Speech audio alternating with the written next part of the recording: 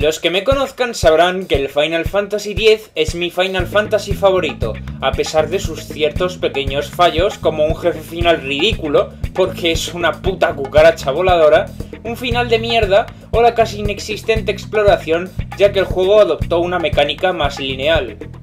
Dado que es mi Final Fantasy favorito, esperaba encontrarme con una verdadera joya cuando me compré el 10-2, pensando que sería igual de bueno o incluso mejor que su antecesor. La cara de tonto que se me debió quedar al ver la intro del juego no tiene precio, ya que habíamos pasado de una intro espectacular a esto.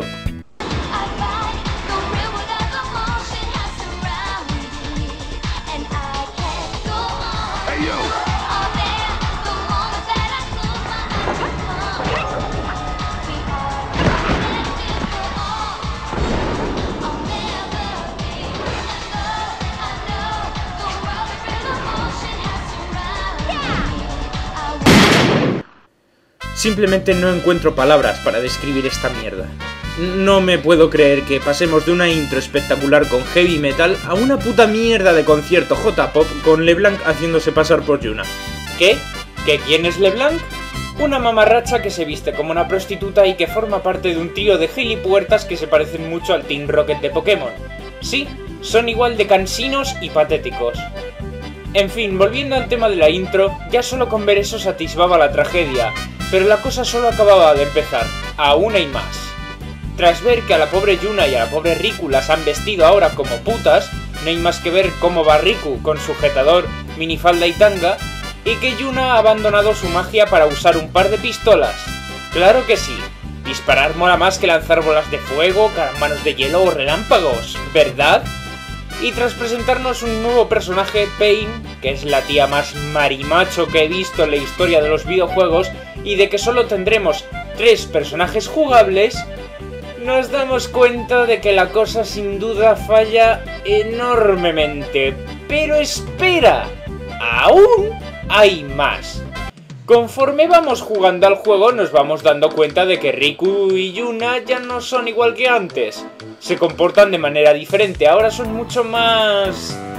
estúpidas. Es como si en lugar de madurar con el tiempo hayan ido hacia atrás y hayan regresado a la edad del pavo.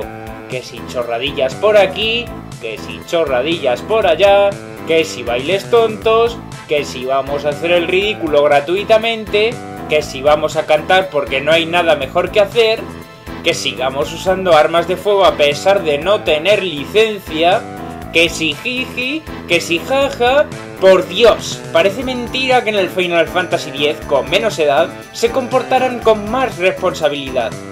En las secuelas se han vuelto unas putas crías hostiables. ¿Y el argumento del juego? Os va a encantar. Atentos. Resulta que han pasado dos años desde que Yuna y los demás destruyeran a Sin de forma permanente y los invocadores se hayan jubilado porque sus servicios ya no eran necesarios. Parece ser además que con Sin muerto no hay nada interesante que hacer, así que la gente está muerta de aburrimiento, por lo que se les ocurrió la genial idea de formar grupos de cazaesferas, donde viajan por toda Espira buscando unas putas esferas de vídeo, que por cierto, en Final Fantasy X nadie tenía constancia de que estas mierdas existieran. Pero bueno, están ahí como si de repente hubieran salido de las jodidas entrañas de la Tierra, y ahora a todos les ha dado por buscarlas un afán de coleccionismo, digamos. Pero ¿por qué Yuna ha decidido montar un grupo de cazaesferas con Riku y con Pain? Pues porque resulta que un día Riku se presenta en B6 con una esfera de vídeo en la que supuestamente se ve a Tidus encerrado en una celda y Yuna automáticamente lo asocia con la posibilidad de que Tidus aún está vivo en algún lugar, sin ocurrírsele la descabellada idea de que el vídeo podría haber estado grabado antes de que Tidus desapareciera, así que forman un grupo llamado Las Gaviotas. ¿En serio? ¿Las Gaviotas es todo lo que os ha ocurrido? Bueno, por lo menos no os llamáis las putas y la marimacho, habría sido peor. Así que deciden viajar por Espira buscando más esferas que les den más pistas sobre la supuesta existencia de Tidus. Por supuesto, todo esto que estoy contando viene escrito en el manual de instrucciones del juego, porque ¿para qué se iban a dejar los riñones los de Square Enix en hacer un vídeo donde se cuenta todo esto? ¿Para qué? Si se puede poner perfectamente en el manual y ahorrarse trabajo. Exacto. Las extrañas muestras de pereza de Square Enix están presentes por todo el juego, al reutilizar una gran cantidad exagerada de elementos del anterior juego. De hecho, hasta me sorprende descomunalmente que no hayan reutilizado las mismas canciones, como sí que hicieron los de Game Freak en Pokémon Blanco y Negro 2. Un ejemplo de pereza de Square lo tenemos cuando, al llegar a cierto punto del juego, descubrimos que Lulu está embarazada de Waka, ya que al final Lulu y Waka acaban juntos al parecer. Y supuestamente Lulu está embarazada de varios meses y le queda poco para dar a luz porque luego más adelante acaba teniendo al niño. Pero los de Square ni siquiera se molestaron en diseñarle a Lulu una tripa de embarazada. Está completamente lisa. O el niño va a nacer con el tamaño de una gamba o los diseñadores son unos jodidos vagos. Me inclino por lo segundo, porque Lulu sigue llevando el mismo puto vestido provocativo de Final Fantasy X. Y en cuanto a Waka, bueno, Waka va a seguir llevando la ropa de los Besidauroch hasta que se muera. En Final Fantasy X, la gente de Spira estaba dividida por distintas creencias. Lo más gracioso es que dos años después, con Sin muerto, la gente sigue dividida, especialmente los Alved, que siguen marginados en el desierto. En Final Fantasy X-2, Spira se divide principalmente en cinco grupos. Los Ronso, que viven casi todos en el Monte Gagaset, comandado ahora por Kim Henry. Los Guado, que se están muriendo todos porque el bosque de Macarania está perdiendo su magia, o yo qué coño sé. Los Alved, que como he dicho antes siguen marginados en el desierto, los nuevos legionarios y por último, lo más estúpidamente absurdo y totalmente carente de sentido que he visto en mucho tiempo. Nuevo Jevon. Sí, a pesar de que Jevon, el dios al que tanto rezaba la gente, era el villano definitivo de Final Fantasy X, ya que era el que controlaba a Sin y los mataba a todos, la gente le crea una nueva iglesia y le siguen rezando. Mm, mi cerebro. No puedo soportar gilipollez extrema de semejante calibre.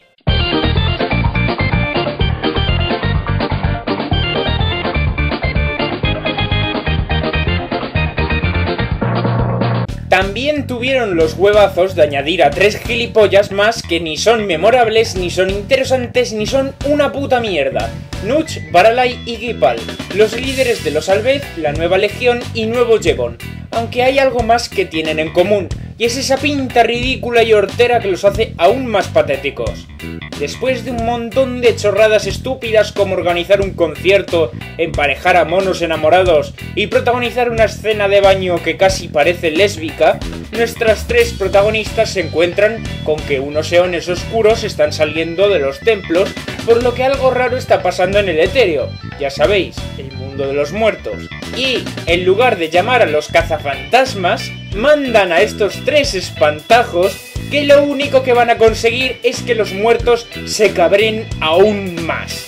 Dicho y hecho, pues descubren que el supuesto Tidus que Yuna vio en la esfera al principio no era Tidus, sino Sujin, una mala copia barata de Tidus sacada de ninguna parte, que por cierto tiene el síndrome de Amy Rose y confunde a Yuna con su amada, Len. El tal Sujin está muy cabreado porque a él y a su amada los mataron hace mil años y Sujin busca venganza. Joder, pues sí que ha esperado para vengarse el tío. Mil años ni más ni menos. Es el campeón de la paciencia. El caso es que Sujin busca una enorme máquina llamada Beknagun, que está en lo más profundo del etéreo y que posee un poder tan gigantesco que podría acabar con la existencia de toda Espira. A estas alturas seguramente te estarás preguntando, si una máquina tan poderosa como esa existía, ¿por qué nadie se molestó en buscarla y usarla contra Sin en el pasado en lugar de dejar morir a los invocadores? ¿Mm? Tío, es que ya sabes, o sea, eh, eh, Bebé lo tenía guardado como un secreto y... Me importa una puta mierda te puedes meter tus excusas por el recto. No deja de ser un agujero argumental del tamaño de un cráter. Al igual que por qué coño Sujin ha tardado mil años en vengarse. Vamos, no me jodas. Después, el trío de furcias se enfrentan a Sujin y le derrotan, y justo entonces aparece el espíritu de Len. Le calma y se marchan juntos de nuevo por ahí al etéreo. Lo siguiente varía un poco ya que el juego tiene varios finales posibles, pero el mejor, por así decirlo, es en el que el orador de Bahamut se presenta ante Yuna y le dice que si le gustaría volver a ver a Tidus una vez más. Y Tachan, Tidus aparece mágicamente en la playa de Besaid donde se reencuentra con Yuna y todos viven felices, se follan unas perdices y etcétera, etcétera. Vamos, tal y como tendría que haber terminado el 10, en lugar de ese puto final de mierda en el que Tidus debe desaparecer. En fin, jugablemente el juego puede parecer interesante, pero eso de que las chicas se tengan que cambiar de ropitas tanto como las Magical Girls acaba por cansar y por dar un poquito de vergüenza ajena a largo plazo, por no hablar de los trajes definitivos.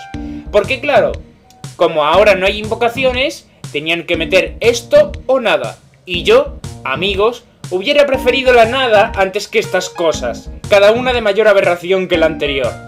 Y si ya de por sí el Blitzball era un coñazo absurdamente difícil en Final Fantasy X, aquí lo han llevado hasta el siguiente nivel, donde te limitas a ser un simple espectador literalmente. Ole, ole y ole vuestros santos cojonazos, que se deben de haber hecho ya de oro. Solo por esto ya merecéis tener una puta estatua. En serio. Ay, después de todo lo comentado, ¿cuál es la conclusión que podemos sacar de Final Fantasy X-2? Pues yo creo que esta. Así es. Este juego es una jodida mierda tan enorme, tan gorda que no cabe ni en la puta pantalla.